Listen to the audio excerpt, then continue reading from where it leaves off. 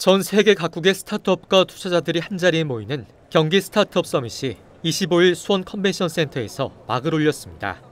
오는 27일까지 열리는 이번 박람회는 경기도가 스타트업의 해외 투자 유치를 강화하기 위해 남부 유럽 최대 규모의 스타트업 박람회인 사우스 서밋과 국내 최초로 협업해 기획했습니다. 박람회에서는 스타트업들의 경연 전시와 1대1 매칭 상담, 강연, 세미나 등이 진행되며 100여 개 투자사가 참여하고 300여 개 스타트업 상담 부스가 운영됩니다. 온 오프라인 사전 경연을 통해 1000개 이상의 스타트업들에게 기업 홍보 기회가 주어졌고 만여 명의 관람객들이 현장을 찾을 것으로 주최 측은 기대하고 있습니다.